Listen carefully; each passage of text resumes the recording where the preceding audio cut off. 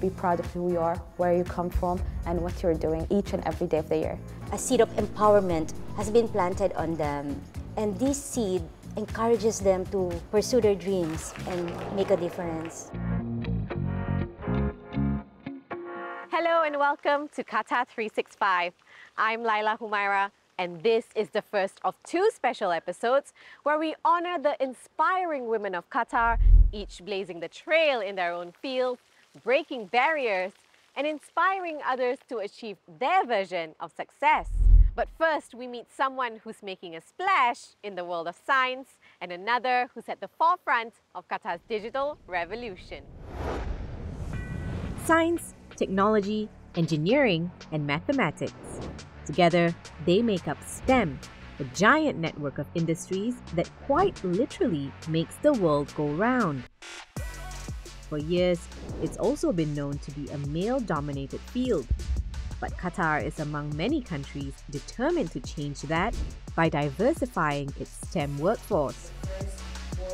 Those efforts start here at the Ministry of Communications and Information Technology, the place powering up Qatar's digital transformation.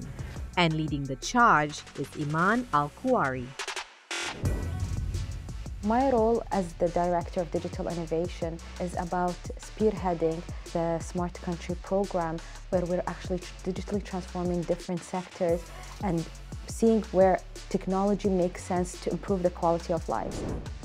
From real-time crowd and traffic management to food security analytics, the high-tech solutions from the ministry's digital transformation program, TASMU Smart Qatar, stems from its innovation lab.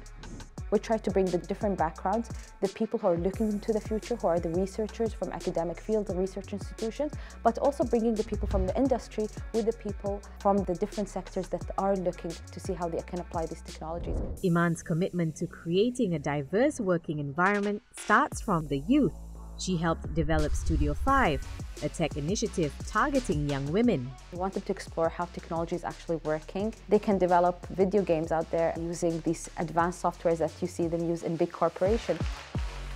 There's been a global push in recent years to get more young women to pursue a career in STEM. Here in Qatar, those efforts have been taken up a notch to make sure that more women are being represented in positions of power. Someone who has the power to shape Qatar's policies on sustainability is Dr. Dima Al Masri. I lead the water project research at EarthNA, and uh, what we do now is we work on uh, basically water resource management and achieving water security in Qatar for resilience towards climate change. Dr. Dima's passion ignited from an early age, inspired by the story of Erin Brockovich. Her determination to turn the tide in water research led her to spending a decade as a scientist at QEERI HBKU, working on the treatment of wastewater. There was a strong need for the country to treat wastewater and reuse it for irrigation, not only irrigation, but other applications as well in the industry, such as for cooling and cooling plants. Dr. Dima acknowledges that the industry needs more women. There were a lot of times where I was the only woman in the room, even though most of the times I didn't feel like I was the only woman. Right now, I'm very open to giving help and advice and feedback to any woman that comes to me that's trying to enter that field. And beyond just reading more about STEM, Dr. Dima says bringing it into everyday conversations is a helpful way to make the industry less intimidating. Once you do incorporate STEM topics in your daily conversations, it would open you up to more thoughts and ideas, and the STEM field would feel more normal. It's a sentiment Iman agrees with, but also adds another powerful daily habit. Be proud of who you are, where you come from, and what you're doing each and every day of the year. Please celebrate yourself every single day because you are doing amazing. It can be hard to start a business from scratch, but sometimes all you need is a little guidance. And that's what the Doha Women Forum aims to do empower women across all sectors to turn their dreams into reality, whether it's to lead a company or sell a product. And every year, the organization dedicates an entire day to hold roundtable discussions, panels, and inspiring talks by women leaders, entrepreneurs, and industry experts. I caught up with Conchita Ponce, the founder of Doha Women Forum, to learn more. Conchita, thanks so much for speaking with us today. Firstly, what inspired you to launch Doha Women Forum? What's the goal of this organization and how has it grown since its inception? You know, I've been here in Qatar for uh, a while and I've come across many amazing stories about women and I believe these women deserve a platform to share their stories and inspire others. Doha Women Forum is not just an annual event where you network or you connect with like-minded individuals. It has grown more than that. I've seen you know, women coming out of the forum feeling inspired, motivated, and ready for action, ready for transformation, ready for change. A seed of encouragement, a seed of empowerment has been planted on them. And this seed encourages them to pursue their dreams, to find their voice or their calling and make a difference. So the Doha Women Forum will be marking its seventh year this year, and every year it keeps getting bigger and bigger. What are you expecting this year? The upcoming seventh edition of the Women Forum in September is anticipated to mark another significant milestone. So this year, we are there are high hopes of attracting international delegates to join forces with the local advocates, further solidifying Qatar's position as a focal point for women's empowerment in the region. One of the main challenges that women all over the world face is at some point in their lives, they have they feel like they have to choose between career and family. But what are you and your organization doing to change that mentality? I think this is the beauty of what Doha Women Forum has been doing for several years. Through discussions, we learned of the various initiatives and advocacy efforts of the organizations that are empowering women, you know, to pursue both their career goals and family aspirations simultaneously. And this helps us to move forward together to toward uh, gender equality and um, fairness.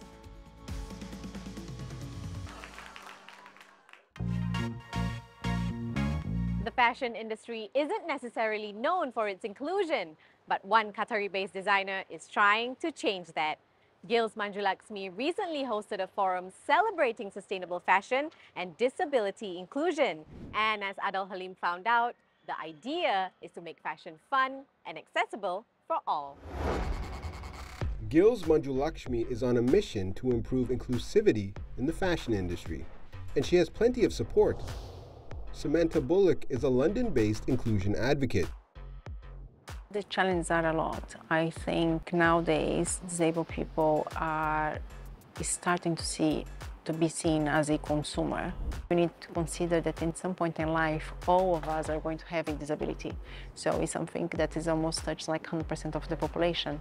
We need to find easy solutions One such solution is this leather bag she co-designed with a Brazilian brand. As you can see, we have these loops here.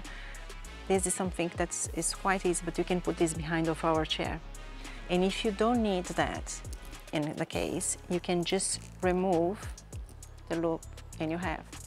So the solutions are quite simple. We have this is one of the solutions. We don't have like one fits all because one disability is completely different than another one. This two-day event, Sustainable Fashion and Disability Inclusion, is the brainchild of Manjulakshmi Bharatan, who's no stranger to breaking barriers. She created her Gills Manjulakshmi fashion brand 10 years ago and produced shows for Middle Eastern designers at New York Fashion Week, which made her the first designer from Qatar and first brand from India at the prestigious event. In New York Fashion Week, it's very difficult to get selected, especially you have a high competition globally.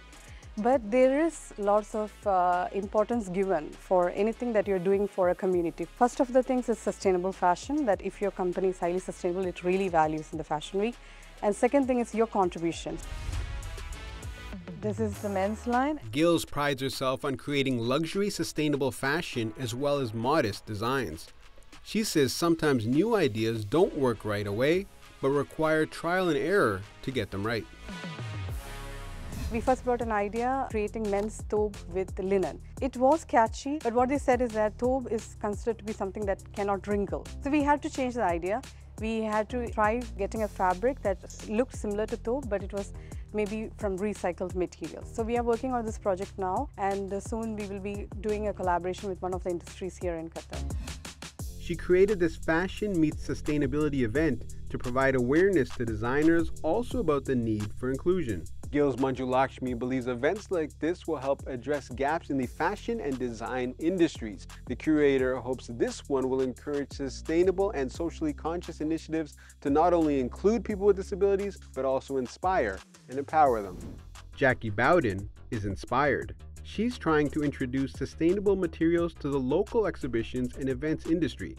She's been in Qatar for more than 30 years and has seen a change people are more aware of you know what we're doing to the planet and I think people are looking now for materials that are a substitute for wood and plastic.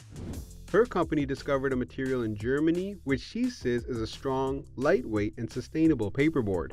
It's processed in Sweden and is 100% recyclable. To me, it's very important about when you're using something, what happens to it after. And at least we know with this that when you've taken it off, a, uh, off an event, it has another purpose. You can either recycle it, which means that you're not harming the environment.